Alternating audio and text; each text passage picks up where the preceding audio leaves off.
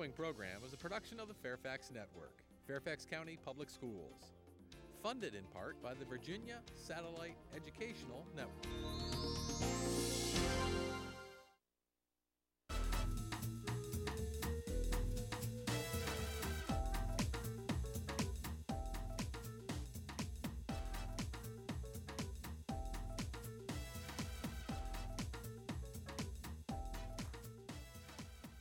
Welcome to Meet the Author. My name is Della Kidd, and I'm here live at the MTA studio.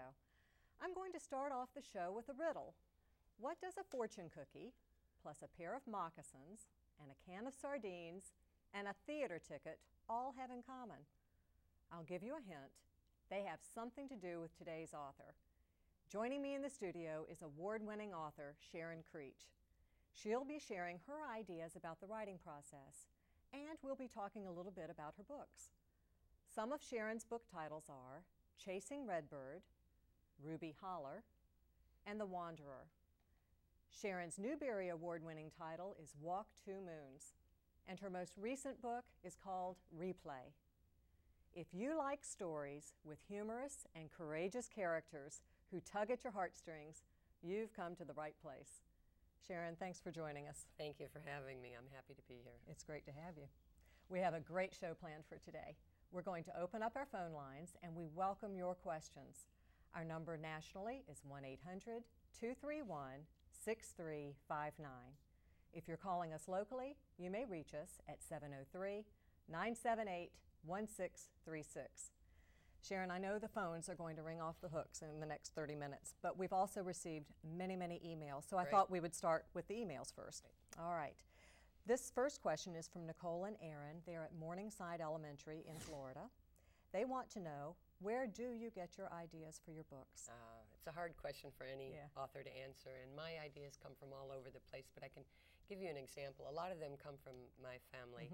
When I was uh, living in England, for instance, uh, I was missing my family, and I thought, well, I'll write a story about them. That would be a way that I could revisit them every day.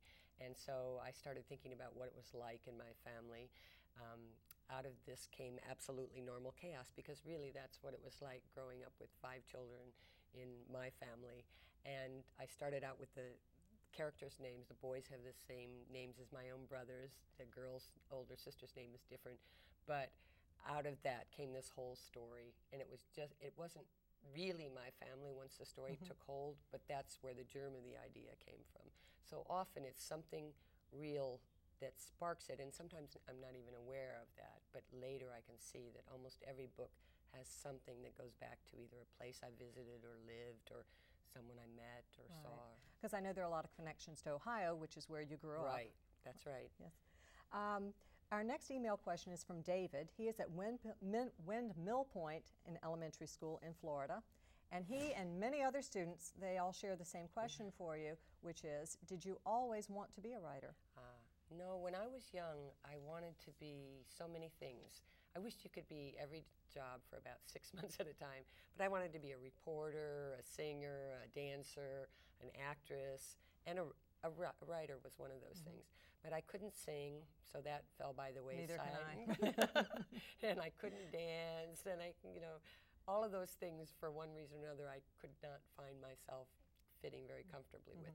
But I could use words, and I discovered increasingly that that's the area that I was most comfortable with, and it allowed me uh, a chance to create a world through words. It was something that was exciting to me, something that I could do that I was good at, and so that's Because I know you were a classroom teacher. Right. I was. I was. I worked as an editorial assistant, and then I was a classroom teacher, and I got to teach great books. And it was really through teaching those great books that I learned what makes a good story, what makes a bad story, and that was a great education for me. Just teaching Right. for 15 years. And you transitioned from being a teacher to a writer. How long was it before your first book, book was published? Well, I. I, it wasn't very long, actually. Uh, I was lucky in that I was living in England at the time, and I found a British agent almost right away in the 1st query letter I sent out, and she agreed to represent me. And then it was about six to nine months, I think. She had a, a few publishers turn the book down. The first book I wrote was for adults. Um, and that book was then taken about nine months later. So I was really very fortunate. And then that same publishing house took the next uh, book, which was Absolutely Normal Chaos. They suggested it was a children's book, so they published it through their children's department. And they asked for another book, and the next book was Walk Two Moons, which kind of changed my life in many ways. I would say so. so you haven't really had to experience the multiple rejection letters that a lot of authors have to experience. No, I didn't, not with the books, but uh-huh. before that, I, I, did write poetry, and I sent poetry out mm-hmm. to a mm-hmm. lot of journals, and I frequently got rejections. But I always understood that was part of the process.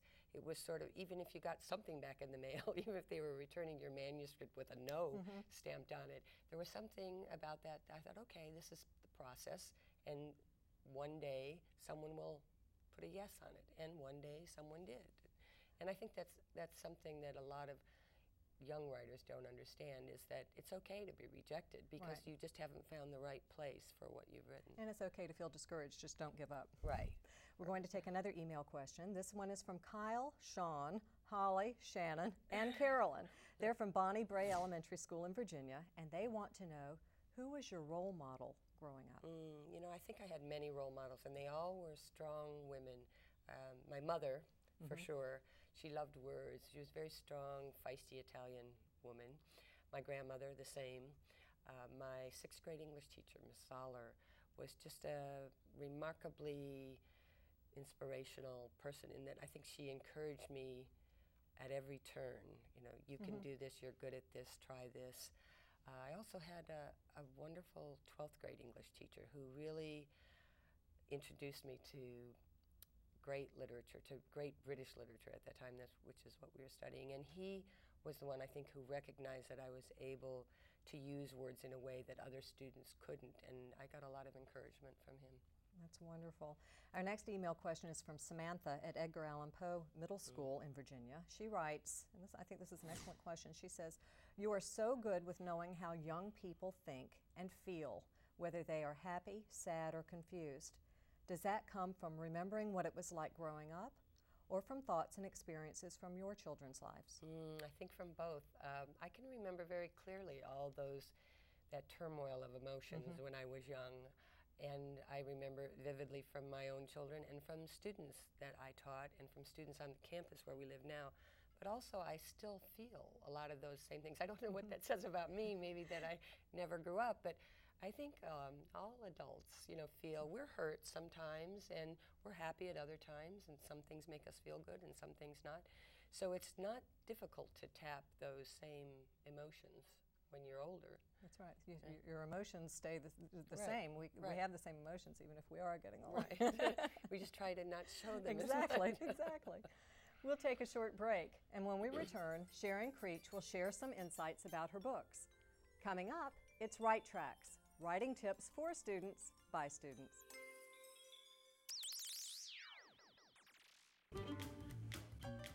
It's important to write in your own words. Don't copy other people's work. Use notes to help organize your thoughts. These tips will help you stay on the right track. Meet the author and get the full story, the backstory. You guys are actually the first to know about this. I haven't even told my editor about this idea. The revised story, the author's story. You just do it. You read, you watch, and you write. And sometimes quite a story. Writing isn't a job. It's a way of looking at the world and meeting new people. Meet the Author, a production of the Fairfax Network.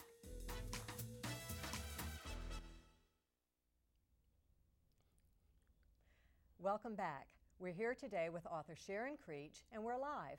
Our phone lines are open and ready to take your calls. Our number nationally is 1 800 231 6359. If you're calling us locally, you may reach us at 703 978 1636.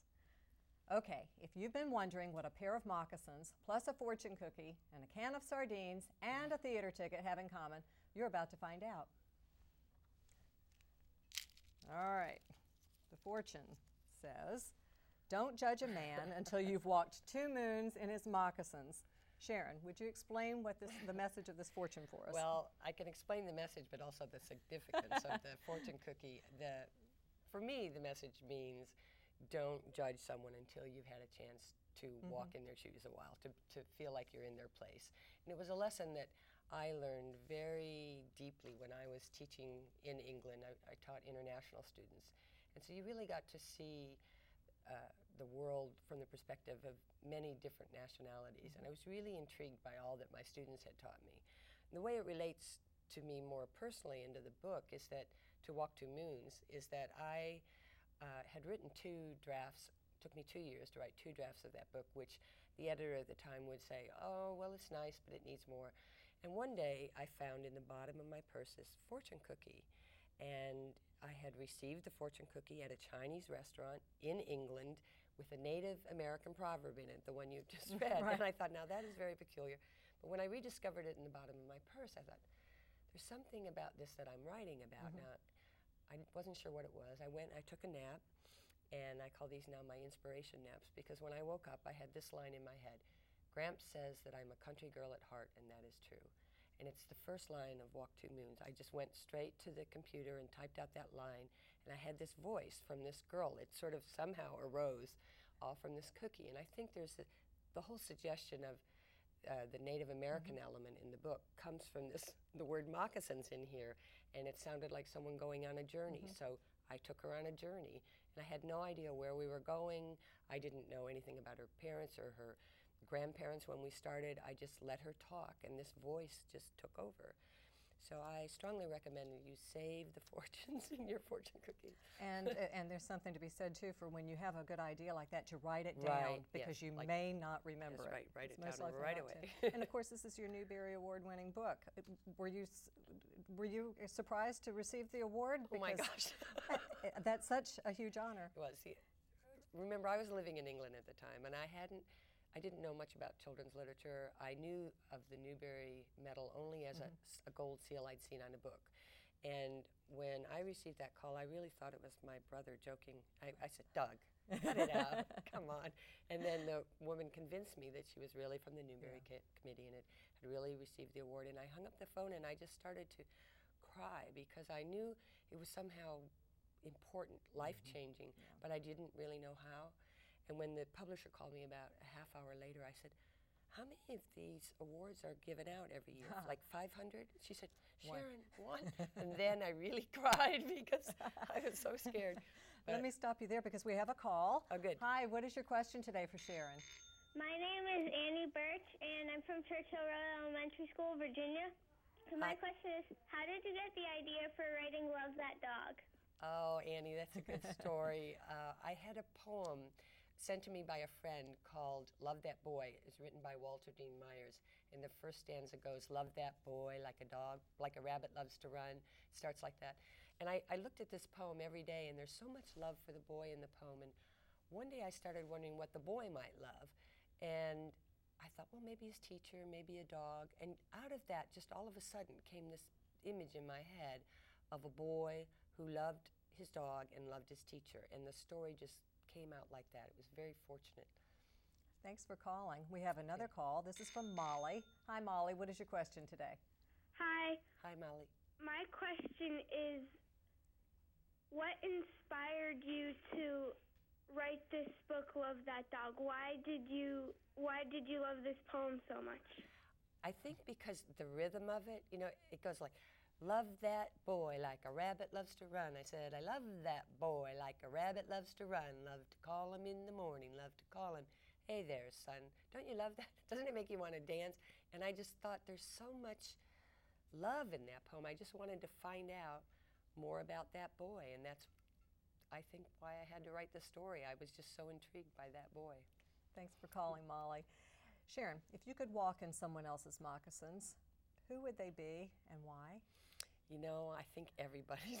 I think that's why I'm a writer, because I walk down the street, I see one, someone cleaning the street, and I wonder what that is that person's mm-hmm. life like. Or I go in the grocery store, and the woman who's ringing up the groceries, you know, she's got a story, and I want to find out what it mm-hmm. is. And so I couldn't choose just one person. I don't think. I think that's why I'll be able to keep writing stories, is because so many people intrigue me. Who did you model the character of Sal after? Uh, I don't. I didn't consciously model her after anyone. she appeared in my head, pretty much full blown with this voice. And I could see her sort of standing on a hill in Kentucky. Now, after the book was written, maybe a year after, I could see that what I had done was taken my younger self and my daughter and smooshed them into one because she's very much like me and my daughter, what we would be if you could squish us together like that. Kind of a combination. Hi, we, ha- we have another call. What is, please tell us your name and what is your question today for Sharon? This is Hannah, and I was wondering do you have any sort of notebook in which you write your ideas? Ah, notebook. I used to have a notebook. In fact, I, I still do have notebooks around the house that sometimes I'll jot down an interesting name. Sometimes the title of a book will come to me and I jot down the, that title. But I hardly ever refer to these notebooks, and I think that's because if it's important enough, it stays in my brain. But n- I use the notebooks now like insurance. I think if I ever get stuck, I've got these notebooks mm-hmm. full of names and ideas and titles of stories. But I think it's helpful to young writers to keep notebooks, to just write down a description of something or an interesting piece of dialogue or a name that you hear that sounds interesting. And you can later use that as a great reference for when you write your own story.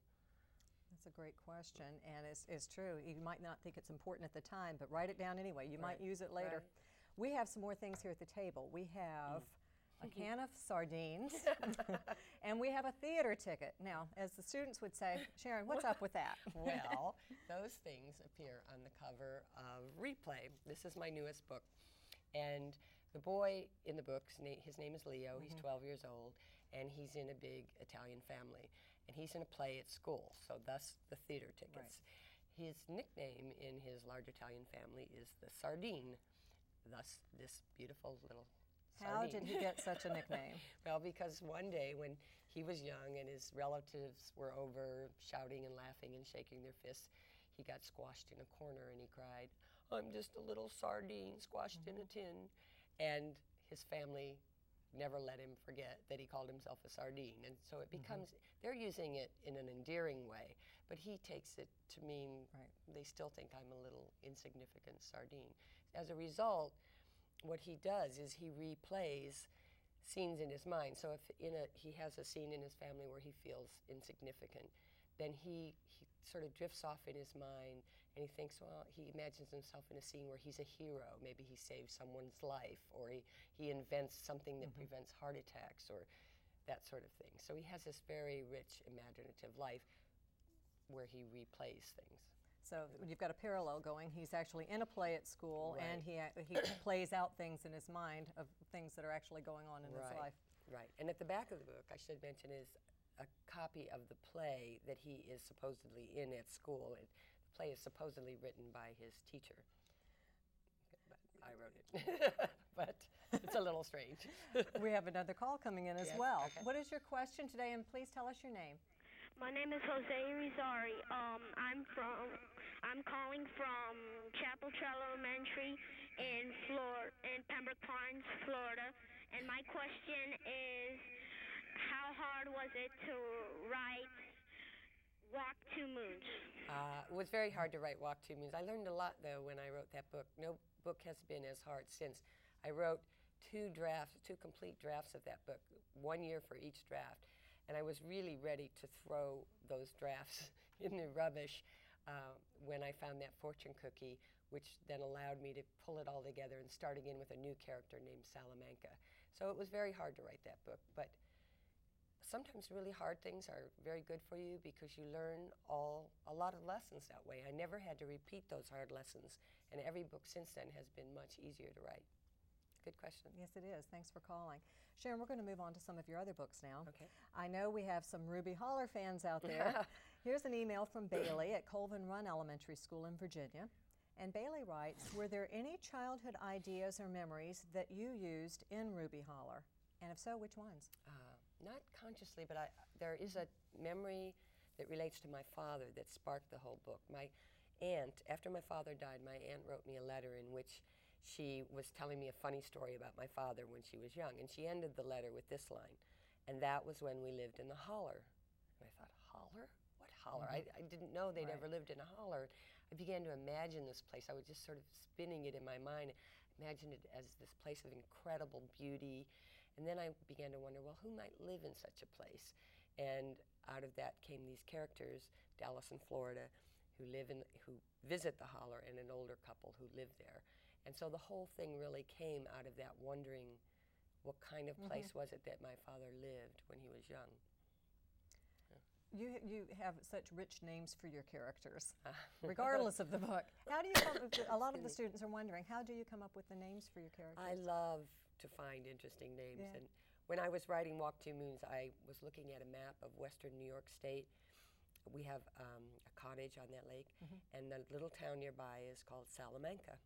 And I thought that would be a great character's name because it could be short. You could Mm-hmm. use a shortened version, Sal. Salamanca sounds sort of Native American, and so that's where that name came from. Other names in that book, like Mrs. Cadaver, just popped into my head. and then once you have the character's name, Mrs. Cadaver suggested something odd with death, Yeah. and so that's how she became connected to some of that in the book.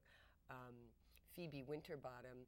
Phoebe is the name of um, the younger sister in Holden, the Holden Caulfield book. Uh, why am I blanking on the, the book? Uh, y- you all know the book. well, when you're older, you'll know the book. But anyway, I, I had always loved this uh-huh. character of the younger sister, and so I used her first name, Phoebe, and then thought she would have an odd last name. But when, I, when I'm on the road and I meet someone with an interesting name, if it's attached to an interesting personality, especially, it sticks in my mind. Right. Cody, for instance, in The Wanderer, came from a boy that I met at a book signing who was just an unusual, funny boy. And Sophie was a young girl I met in England. She was severely disabled, but she had this really courageous spark. And so I borrowed her name for that character. That's terrific. We have another call. This is from Brennan. Hi, what is your question today for Sharon? My question is Is writing your favorite thing to do? And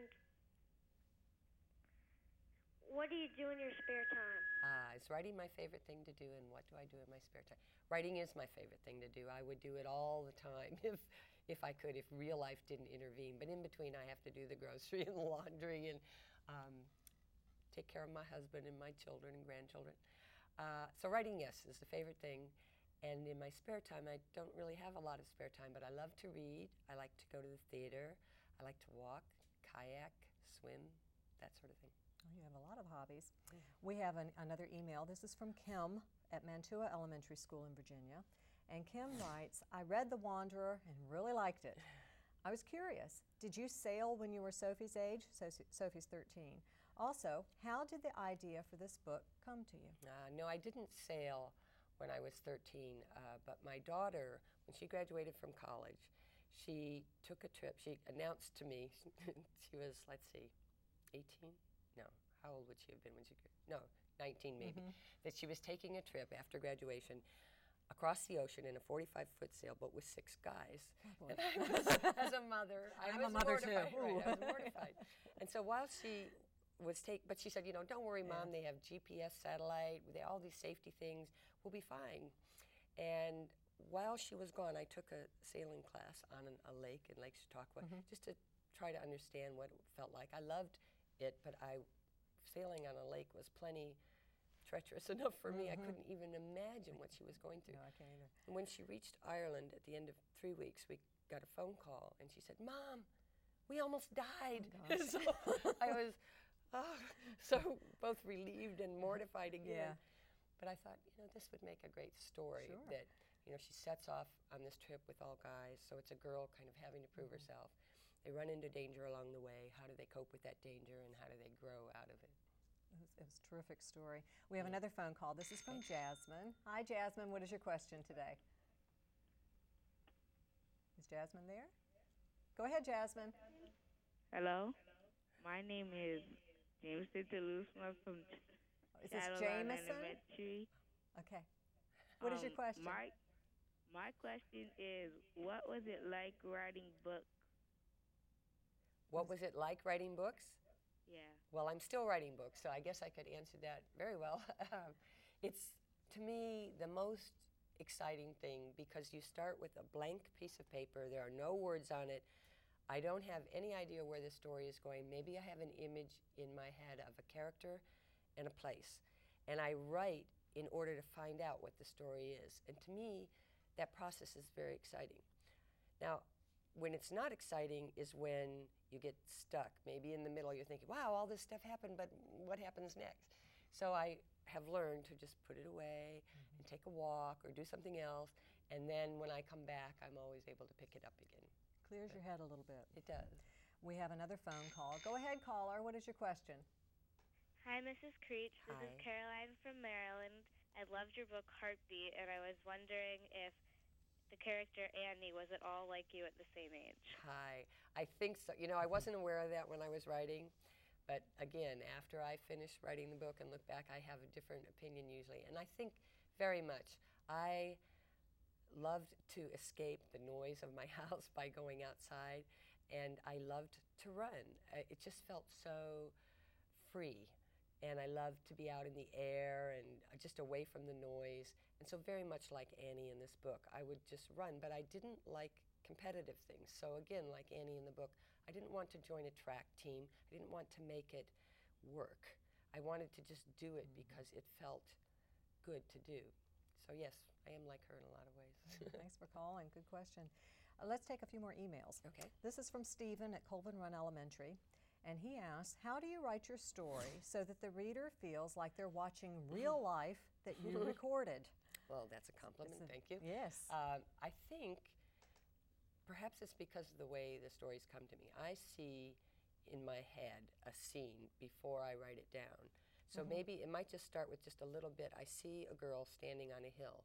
So I begin with what she's thinking and I describe the area around her. And then I want to enlarge the focus a little bit. So I want to know right, what's beyond this little spot she's standing on? What's down the hill? Oh, that's her house. Who lives in her house? What's her family like? And so each thing for me is a mental image first, like you might see on film, Mhm. and then I'm putting it into words. So maybe when the reader is reading it, he's he or she is reconstructing it back into this kind of image that I originally saw in my head. That's my best guess. You know, it's a great question because some students, as well as adults, find writing to be difficult. right. Do you have some suggestions for writers of all ages? yes, I do, especially for young writers. In, I think my best piece of advice would be to say, don't expect to be able to do it right away. Like if mm-hmm. you were learning tennis, for instance, you wouldn't go out and ex- expect to just put on the duds and go out and, and play a full mm-hmm. game and win. You would expect, oh, maybe you have to go practice your forehand, maybe you have to practice your backhand, you practice your serve. But it requires practice. It requires practice, It requires practice. Yeah. Our guest today has been author Sharon Creech. If you would like to learn more about her books, go to her website at www.sharoncreech.com. To learn more about our upcoming authors and the Fairfax Network, visit us at www.fcps.edu/fairfax network. For the Fairfax Network, I'm Della Kidd. Keep reading, keep writing, and keep dreaming.